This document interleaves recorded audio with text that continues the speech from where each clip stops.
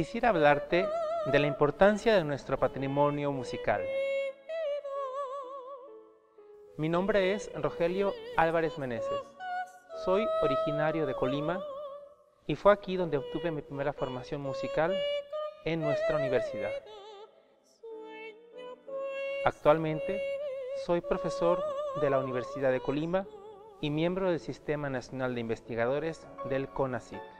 La música es una de las disciplinas más amplias de las bellas artes y por lo tanto no únicamente podemos acercarnos a ella mediante el hecho de la interpretación, es decir, tocar un instrumento, sino también hay un gran campo de investigación en torno a la música y en torno a sus fenómenos.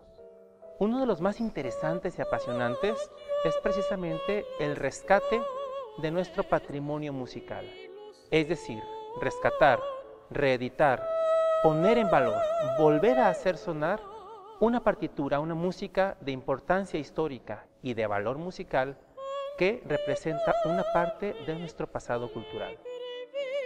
Quitémonos la imagen del científico serio, poco entendido y apartado.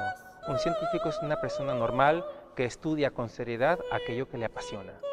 Claro está, puede ser un científico de la medicina, un científico de la naturaleza, de la geografía, de la vulcanología, pero también hay científicos de las áreas de las humanidades y el arte no es la excepción.